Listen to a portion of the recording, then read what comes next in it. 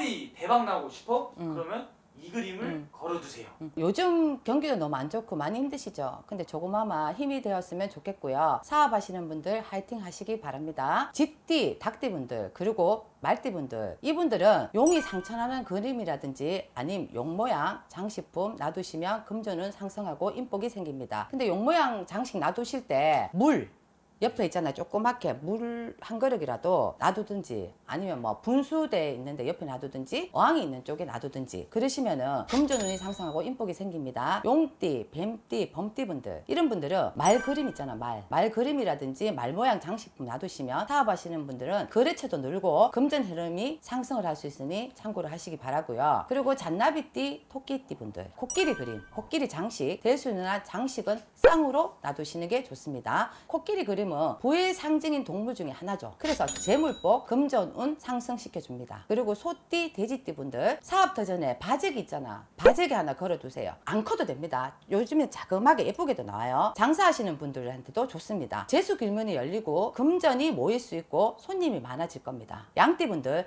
앞전에 말씀드렸듯이 이제 부엉이 그림이나 부엉이 장식품 사업 터전은 사무실, 장사 터전에는 카운터에 놓아두시면 금전이 길합니다. 사업하시는 분들은 조금 큰 거, 그리고 개띠분들 두꺼비 그림 아니면 두꺼비 장식품 사업 터전 사무실에 놔주시면 좋고요. 근데 아셔야 될 거는 출근하실 때는 두꺼비 장식품을 똑바로 놔두셔야 됩니다. 문 쪽으로 문 쪽으로 놔두셨다가 업을 업이 끝났다 오늘 영업 시간이 끝났다 그러면 두꺼비를 안쪽으로 돌려놓으셔야 됩니다. 밤사이 재물이 나가지 않게 지켜달라고.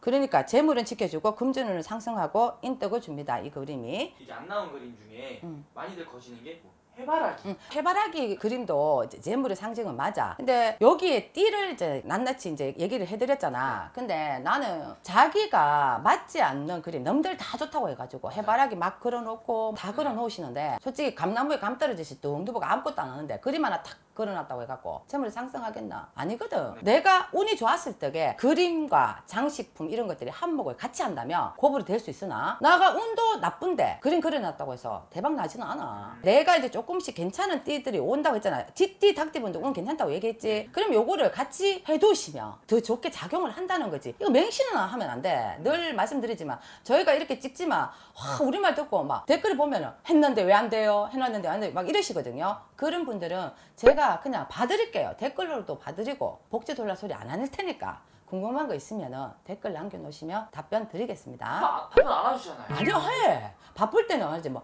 이제 한번 계속 둘러볼 때 시간마다 댓글 달아드린다 그래요? 음. 아, 확실해요? 음 확실 그러면은 띠별로 말씀하셨는데 이게 집안이라든지 사업장 이렇게 음. 아무데나 걸어도 되는 거잖아요. 그러니까 나는 아까 전에 집안도 집안이지만 이제 사업하는 터전에 놓아두고 하라고 말씀드렸지 음. 터주의 기운과 합의가 되면 좋고 그리고 또 한 가지는 여기서 그림만이 아니라 타주에 맞는 직업을 해야 된다고 얘기를 들었고 그리고 내하고 맞는 터전 사업도 내하고 내가 하는 걸 했어 근데 터전이 나랑 합의가 안 들어 그러면 어떻게 되겠나? 안 되잖아. 맞아야 된다는 거지. 음. 궁합을 보듯이. 내 운과 내 사주들을 가는 직업 그리고 내 터전. 이런 게 딱 맞아 떨어지지만이 상승을 하지. 그것 중에 하나도 안 맞으면 솔직히 또 하락선 탈 수가 있어. 음, 감사합니다. 앞전에 영상 찍었을 때 그래도 제일 많이 봐주시고 했던 것들 각자 띠들 중에 무슨 물건을 짓느냐 어떤 걸 하느냐에 따라서 운세가 상승한다는 걸 영상 많이 봐주셔서 감사하고요. 그때도 뭐 일일이 다 말씀해달라고 댓글도 진짜 많이 달렸는데 내가 바빠서 못 해드렸어.